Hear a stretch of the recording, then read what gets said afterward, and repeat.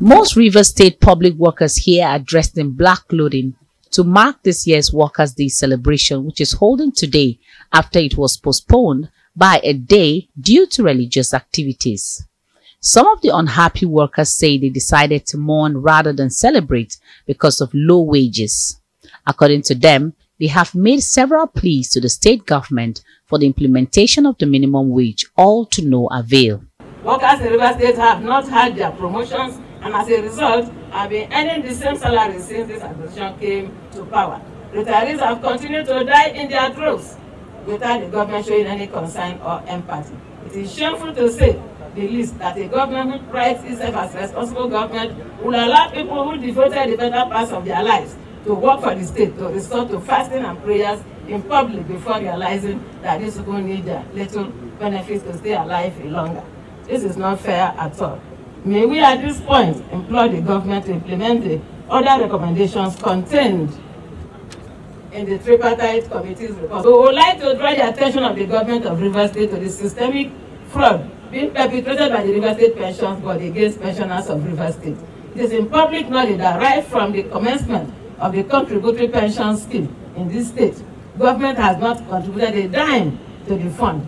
All deductions have been made solely from the employees' salaries.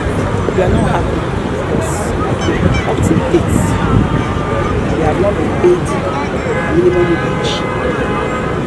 Secondly, we have not been paid any benefits as in promotion benefits. We have been sidelined.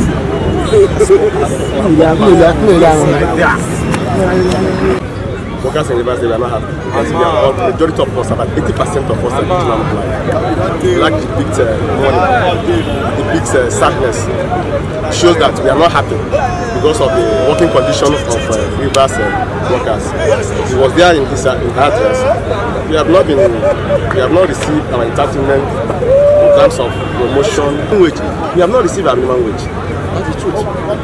It is obvious we have not received our minimum wage. So this is the yearnings of in River State. We cannot be in a place like this, River State, the treasure base of the nation, and the civil servants in River State. We can, you heard what is happening at the pension, the pension.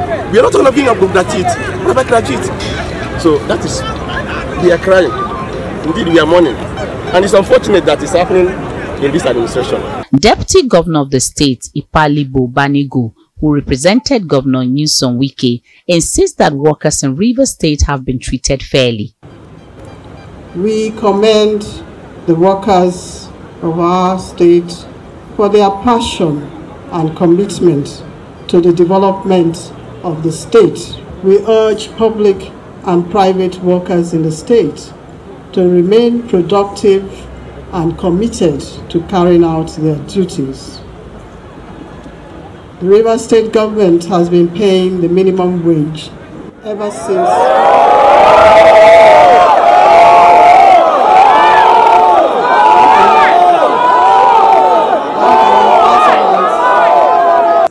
Government has paid all outstanding monthly pensions up to date.